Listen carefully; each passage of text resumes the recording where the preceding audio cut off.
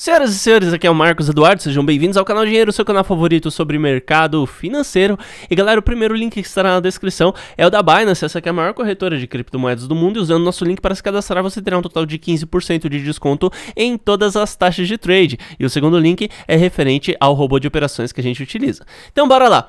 É, tenho duas notícias aqui em relação à Binance. Uma que, ok, né, não vai é, trazer um impacto muito grande aí para o mercado e tal. E a outra que vai entristecer um pouco os nossos corações, será?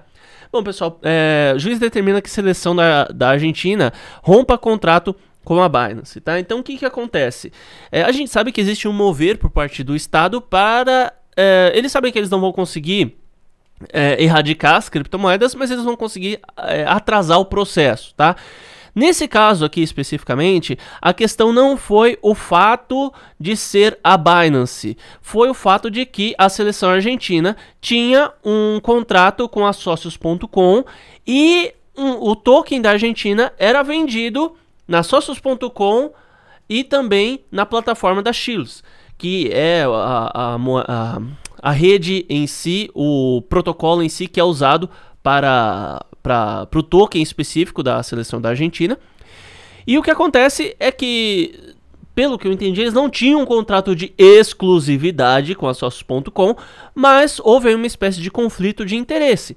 E, por conta disso, o juiz veio e determinou que, olha, né, você encerra esse contrato aí com a Binance e não vai poder prosseguir esse negócio porque você já fechou com a Sócio.com e você vai prejudicar a Sócio.com se você fizer isso, né? E o que acontece é que a Binance provavelmente fez uma oferta bem melhor, né? Eles decidiram aceitar a oferta da Binance e ficar trabalhando com os dois, mas não, infelizmente não foi possível.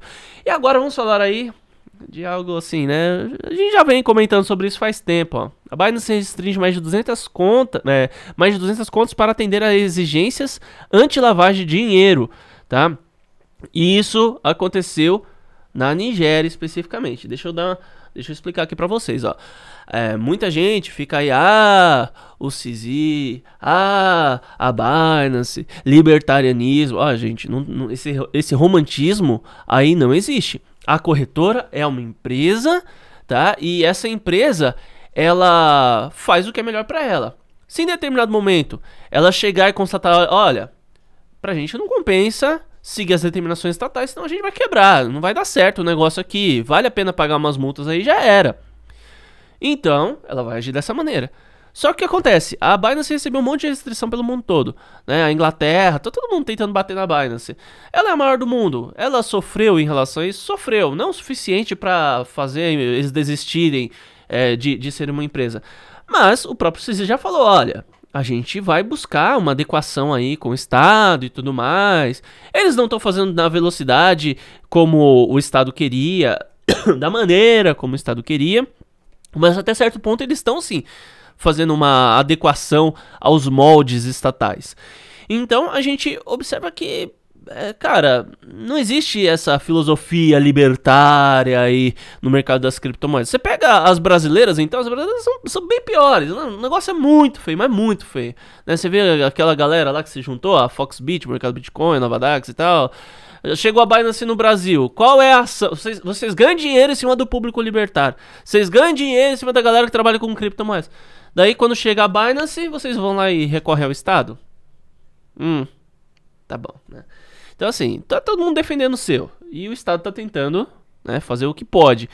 E eles chegaram pra Binance e falaram, ó, bloqueia a conta aí dessa galera que a gente não quer que as coisas funcionem dessa maneira.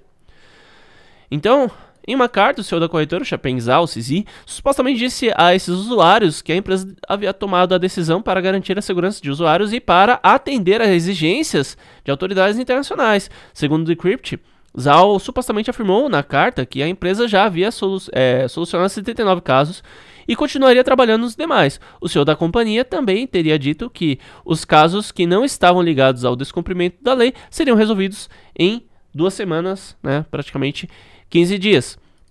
E o que a gente observa é o seguinte: a Binance criou até uma plataforma para quando um órgão regulamentador ou alguém do estado e tal quiser chegar e, e pedir alguma coisa, eles podem pedir. Então tem um, um, canal de fácil acesso à Binance, pelo menos essa é a ideia.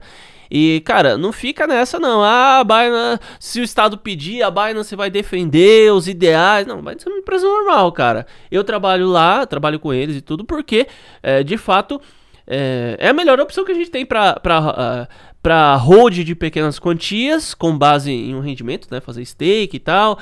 É a melhor opção que a gente tem para fazer trade, tem mais volume e tudo mais. Mas o dia que chegar outra e falar assim, ó, ó, tá muito melhor, eu vou trabalhar com essa outra, né? O pessoal lá da Binance é muito legal, muito gente boa, gosto pra caramba de todo mundo que eu já conheci que trabalha na Binance, mas assim, cara, eu, eu, eu, eu não ponho meu sentimento nesse no mercado aí não. Pra mim, é, são negócios, tá? É, e infeliz, felizmente, né, a Binance é a melhor opção que a gente tem hoje para trabalhar. E o que acontece é se o Estado, se o Brasil ou qualquer país chegar e falar assim, ó, eu quero bloquear aqui 500 contas, ele vai lá, a Binance vai lá e vai, vai bloquear, né? É, lógico que vai ter uma avaliação prévia e tudo, mas no fim das contas acredito que ela vai seguir o que o Estado determinar, tá bom? Então, por isso, é, guarde seu dinheiro em carteira, não guarde em corretora, né? Em corretora você vai deixar o que você vai tradar, você vai deixar o que você vai utilizar. Você não vai ficar aí brincando, né, de deixar dinheiro parado e vou esquecer na corretora, tá bom? Então é isso, pessoal. Muito obrigado por ter assistido. Espero que o material tenha sido útil e até mais.